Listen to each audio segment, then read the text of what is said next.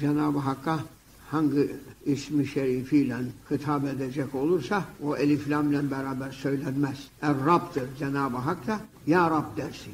Er-Rahman'dır. Hitap ederken Ya Rahman dersin. Ya Allah dersin. Ya Halim dersin. Ya Sabur dersin. Bunlara başlarken bir e, destur alma gereği var mı acaba? Elbette ki Esmaullahül Hüsna'nın hepsinin havası vardır. Hepsine müvekkel olan melaike-i kiram vardır. Onların zikri hususunda icazeti olan bir kimselerin onu okuyacak talip olanlara izin vermesi, onun hal ve şanını anlaması gerekir. Tabanca almak belki herkesin harcıdır ama tabancayı kullanabilmek herkese olmaz. İzinli olmak lazımdır.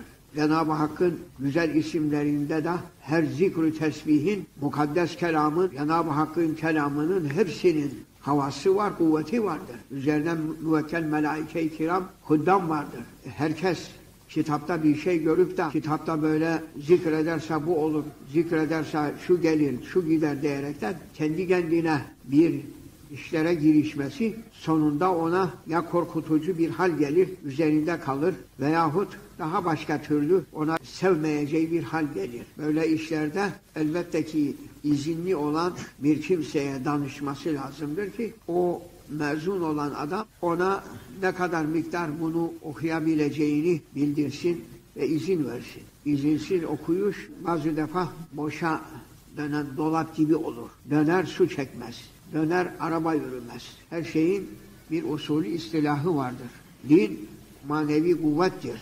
Elbette ki ona inanan kimselere manevi kuvvet aşlanır. Sonra o kuvveti idare edemese onu mahkum eder. Nefsi oynar. Şeytan onu aksi yola çeker.